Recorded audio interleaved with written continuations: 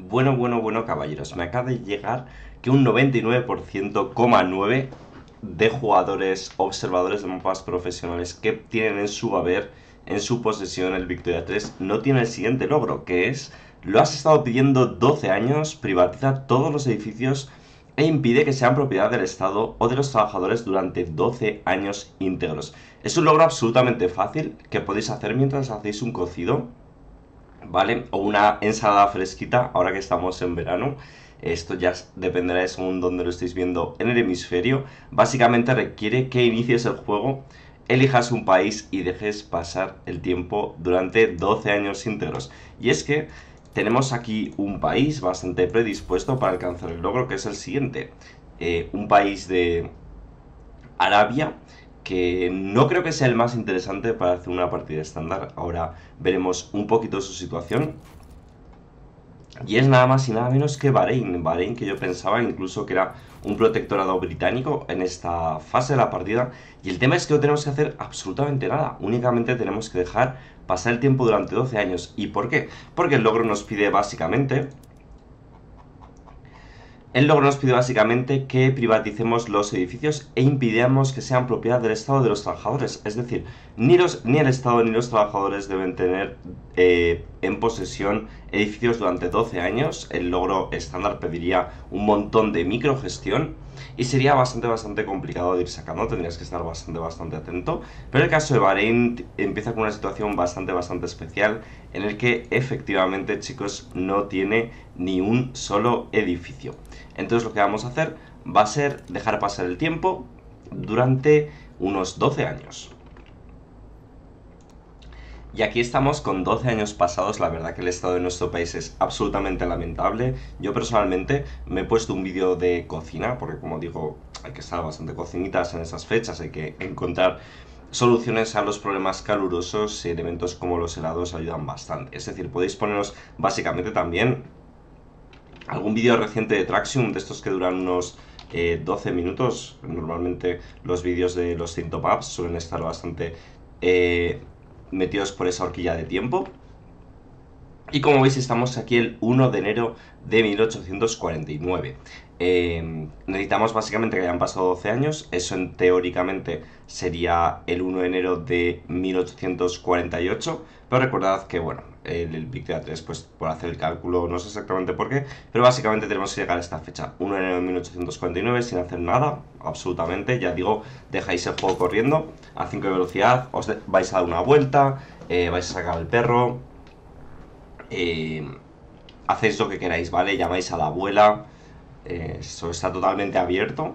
Y cuando hayáis vuelto, siempre y cuando sea mínimamente 1 de enero de 1849, ya tendréis desbloqueado el logro de... Em, lo tenemos por aquí. El logro de lo has estado pidiendo durante 12 años, que curiosamente solo tiene un 0,1% de los jugadores. Ese 0,1% de los jugadores no van a pertenecer a los seguidores de este canal. O sea, quiero que básicamente después de subir este vídeo yo me meta a Steam. Eh, básicamente, eh, creo que me, tenéis, me tiene todo el mundo agregado. Eh, fijaros, tengo gente que juega al Victoria 3 por un tubo, ¿vale?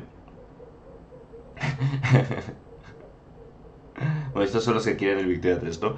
Tenemos un montón de gente jugando al Victoria 3. Básicamente, chicos, quiero que tras subir este vídeo me empiece a salir en el historial aquí de, del, del Victoria 3 me empieza a salir que un montón de gente estáis desbloqueando el logro porque como digo, no tiene absolutamente ningún misterio. Igual hay alguien que se indigne en los comentarios diciendo, pero vamos a ver tracks. Vamos a ver tracks, esto no es como se debería hacer. No, es un logro que tienes que estar privatizando edificios y pedir que sean propiedad del Estado. Es básicamente tú cuando privatizas un edificio en, en Victoria 3 lo pones a la venta, no significa necesariamente que lo vayan a comprar el caso es que no pueden hacerse con ello los trabajadores. Entiendo que tienen que hacerse con ello los capitalistas y por tanto eh, tienes que estar controlando quién compra el edificio, quién tiene dinero y si ves que lo van a comprar de alguna manera, no sé ni cómo hacer eso, ¿vale? Eh, básicamente evitar que, que, lo compren los trabajadores, ¿no? En cualquier caso, me parece un logro de esos de estar haciendo microgestión, un logro aburrido, un logro pocho, que mira, si te puedes sacar aquí ya y quitártelo de encima, yo sinceramente mejor que mejor. Hay logros que son divertidos y que mola mucho sacar, que requieren una partida estándar o jugar con cierto estilo de juego. Eso mola. En el caso de este tipo de logros, pues a mí no me hace tanta gracia, ¿vale? Entonces, eh, obviamente, si alguno lo quiere sacar de otra manera, que se sienta totalmente libre. Personalmente, como digo, me ha sorprendido la baja cantidad de jugadores que, que se lo han sacado.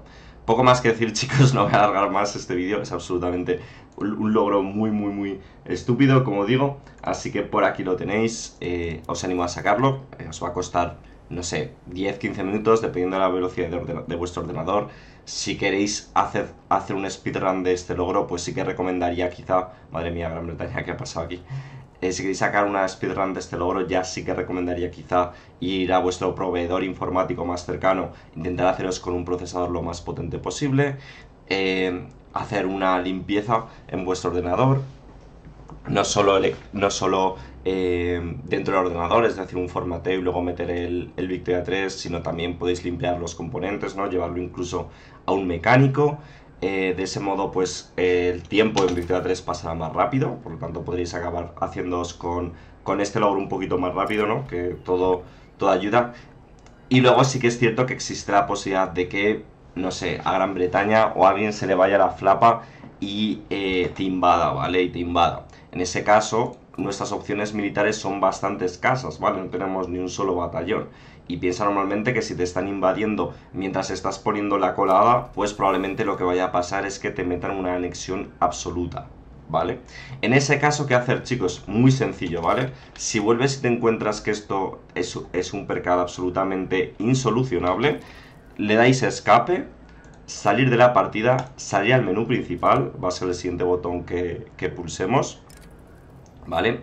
Luego nos vamos a ir nuevamente a nueva partida Iniciar partida, muy importante, eh, seguir estos pasos con exactitud, si no, no sé dónde podéis acabar.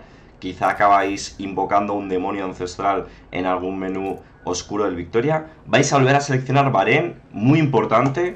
Iniciamos la partida otra vez, le damos al más o subimos la velocidad manualmente, lo que queramos le damos al espacio o a play manualmente y así volvemos a proceder a continuar con lo que estábamos haciendo, ¿vale? No perdemos ni un absoluto minuto de nuestro tiempo jugando con este país absolutamente asqueroso de jugar en Victoria 3, ¿vale? Que no tiene absolutamente nada.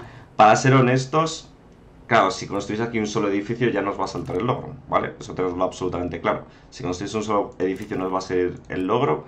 Eh, podéis poneros a hacer alguna reforma, pasar alguna política que si queréis quizá, pero bueno, yo sinceramente tampoco me la jugaría. Yo sacaría el logro, ¿vale? Esperamos a que salte eh, y luego os ponéis a hacer otra cosa. Os ponéis a jugar cualquier otra partida. Yo digo por quitaroslo rápido, nuevamente, de encima. Poco más que decir, cuidaros mucho y nos vemos en el siguiente vídeo. Chao, chao.